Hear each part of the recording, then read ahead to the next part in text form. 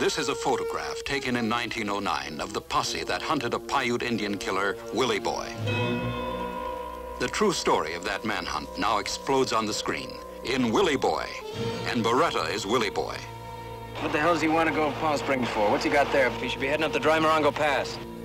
Willie, are you going to kill them? If I have to. What do you mean if you have to? I mean if they keep coming. But they're white, Willie. They'll chase you forever. How long is that? Less than you think. It's crazy, Willie. You can't win. You can't beat them. Never. Photographed in the California deserts and mountains where it happened.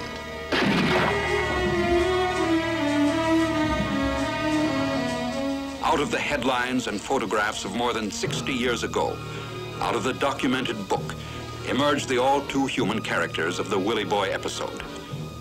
Robert Redford is the sheriff. Tough, hard, a man of violent passions. You can always say no. I use you the way you use me. Elsie, thank you.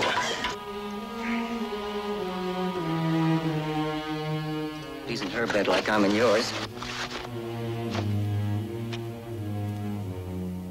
We never been in a bed. Take off your shoes. Katharine Ross, impressive as Lola the Indian girl. Ah! Still afraid? You might run away. Untie me!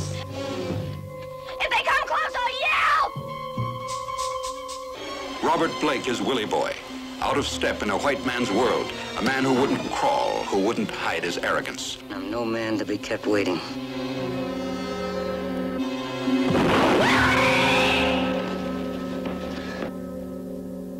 Susan Clark is Dr. Elizabeth Arnold, superintendent at the Morongo Indian Reservation. You mean a dozen armed and mounted men can't catch one Indian on foot? Touching, tormenting, true. On the run from yesterday to tomorrow. You're scared, aren't you? And you want to run back?